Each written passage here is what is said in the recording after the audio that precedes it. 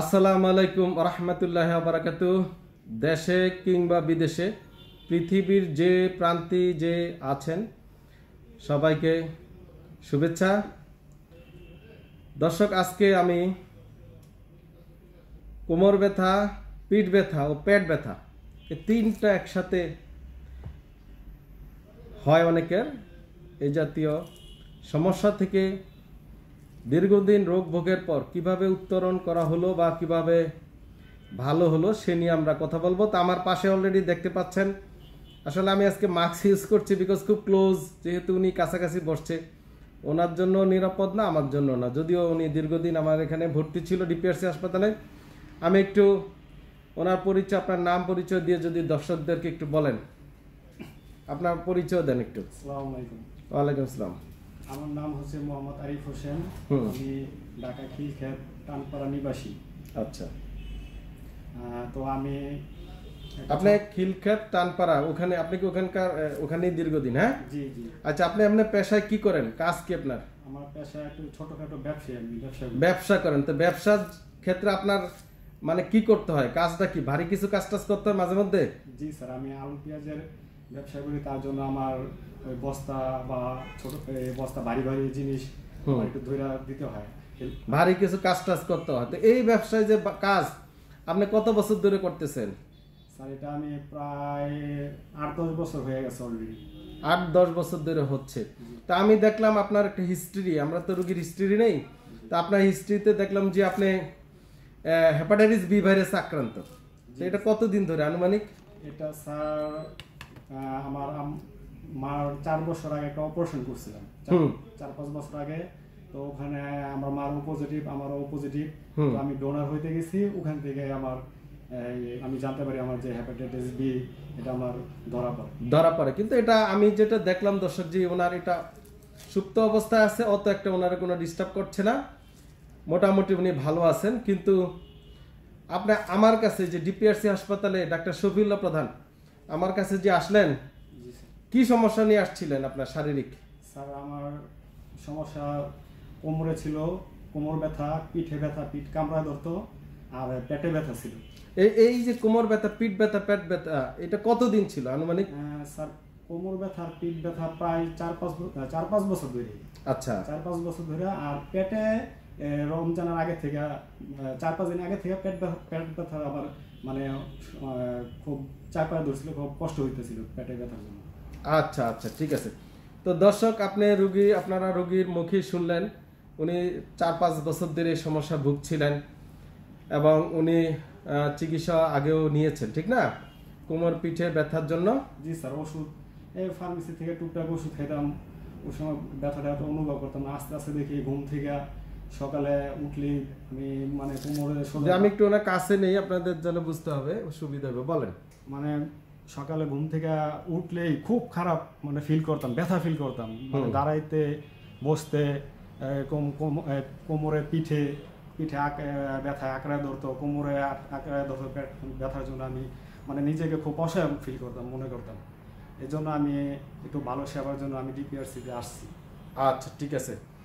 তো ওনার সমস্যাটা আপনারা শুনলেন সবাই দর্শক, যে ওনার আটকিয়ে রাখতো কোমর, পেট ব্যথা হতো পিঠেও ব্যথা হইতো, কাজে ডিস্টার্ব হতো এর জন্য আমাদের কাছে আসছে। তো আমরা যেহেতু আমি এর আগে বলছি, তিন চার বছর যদি হয়ে যায় বা তিন মাসের ঊর্ধ্বে হলে আমরা রুগীদেরকে এমআরআই করতে বলি হ্যাঁ?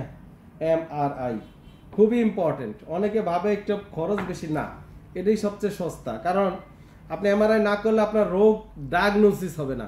আপনি জানবেন না কি রোগে আক্রান্ত।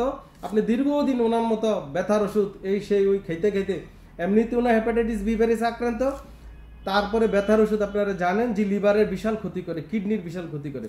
তো দীর্ঘদিন ব্যথার ওষুধ খেলে উল্টা আরও লিভার কিডনি ড্যামেজ হতে পারে এবং খরচ যাবে। চার পাঁচ বছরের ওষুধের খরচ আছে। তারপরে গেলি এক্স রে গেলি টেস্ট এগুলো করা হয়। এতে রোগ নির্ণয় হয় না। কিন্তু এমআরআইটা করলে খুব সহজেই রোগটা নির্ণীত হয়ে যায়, যেটা ওনার ক্ষেত্রে হয়েছে। দেখেন, ওনার ক্লিয়ার ছবি দেখা যাচ্ছে PLID L five S one দর্শক, আপনারা দেখতে পাচ্ছেন, আশা করি। এই যে এল ফাইভ এস ওয়ান এইটা হচ্ছে ওনার সবচেয়ে বেশি কোমরের, পাশাপাশি পিছে পিঠে মাসেল স্পাজম আছে হ্যাঁ? মাংস বেশি স্পাজম আছে। ওনার স্পাইনাল কার্ভেচারে কিছুটা প্রবলেম আছে। তো আমরা ওনাকে এখানে চিকিৎসা দিয়েছি, মূলত different type of electrotherapy high advance rehabilitation therapy এবং বিভিন্ন বৈজ্ঞানিক এক্সারসাইজ থেরাপিউটিক এক্সারসাইজ যেগুলো করাতে আমি বলেছিলাম যে আনুমানিক বিশ একুশ দিন থাকতে হবে। কিন্তু আপনি আজকে কতদিন হলো? আপনি তো চলে যেতে চাচ্ছেন। জি স্যার আমার আহ, দশ দিন হয়েছে। মাত্র দশ দিন হয়েছে। তো উনি বলছে যে স্যার আমি ভালো। আমি ওনাকে বলছি তাহলে আপনি টেস্ট করে দেখেন হাঁটা চলাফেরা করে।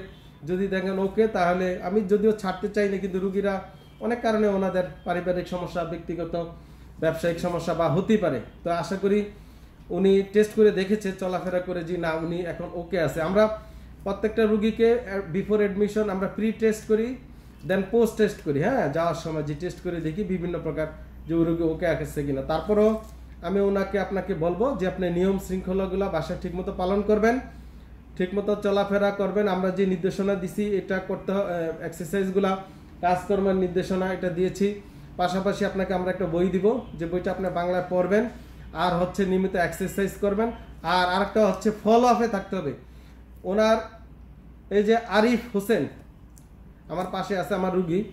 আরিফ হোসেন এবং আমার যত রুগীরা আপনারা এই ভিডিওটি দেখছেন, যারা দীর্ঘদিন আমার দশ পনেরো বছর ধরে চিকিৎসা আছেন দুই, তিন বছর ধরে আছেন বা যে যত সময় ধরে আছেন, দয়া করে আপনারা যে অবস্থায় থাকেন না কেন প্লিজ ফলো আপে আসবেন। অন্তত এক মাস না পারেন, দুই মাস পরে আসবেন। দুই মাস না পারে, তিন মাস পরে আসবেন, তিন মাস না পারে, ছয় মাসের মধ্যে অন্তত আসতে হবে। আর যারা দেশের বাইরে থাকেন, তারা বছরে একবার আসলে হবে। তারপরও যারা দেশের বাইরে থাকেন, তাদেরকে আমরা ফোন নাম্বার দিয়ে দিই। তাদের হয়তো চেষ্টা করি যেন বিদেশে থেকে চিকিৎসা নেওয়া যায়। Follow up follow up follow up ডাক, চিকিৎসা ফলো আপটা খুব ইম্পর্টেন্ট যেমন আমরা নিয়মিত চর্চা করতে হয়, যেমন ব্যবসারও চর্চা করতে হয়। ব্যবসা করতে গেলে এরপরে বুদ্ধি খাটাইতে হয়। নেক্সট কী করব? কোন ব্যবসাটা ভালো করব? কোন সিজনে কোন ব্যবসাটা ধরলে কোন আলুটা কিনলে বা কোন ধান, চাল কিনলে ব্যবসা ভালো হবে? এটা যেমন মস্তিষ্কে ব্রেনকে খাটাইতে হয় তদ্রুপ। এর চিকিৎসা বিজ্ঞানটাও কিন্তু বসে থাকে না। এটাও ফলো আপ করতে হয়। এটা অ্যাডভান্স হয়, বাড়ে, কমে। হ্যাঁ এর জন্য একজন স্পেশালিস্টের প্রয়োজন। যেমন ওনার লিভারের প্রবলেমের জন্য একজন গ্যাস্ট্রো লিভার ডাক্তারের প্রয়োজন। তো বাত ব্যথা এবং এই পঙ্গুত্ব প্যারালাইসিসের জন্য আপনাকে রিহ্যাবিলিটেশন ডিসেবিলিটি পুনর্বাসন বিশেষজ্ঞ প্রয়োজন। তো এই ফলো আপে করবেন ফলো আপ খুবই ইম্পর্ট্যান্ট আর আপনাদের যদি কোনো বিষয়ে আপনারা জানতে চান, কোনো রোগ সম্পর্কে, অবশ্যই কমেন্টে লিখবেন। আমি অবশ্যই সেই রোগটা নিয়ে আপনাদেরকে জানানোর চেষ্টা করব, যেন আল্লাহ পাক রাজি এবং খুশি হয়। আর সকল রুগী ভালো থাকবেন। আসসালামু আলাইকুম রহমতুল্লাহ ওবরাকাতু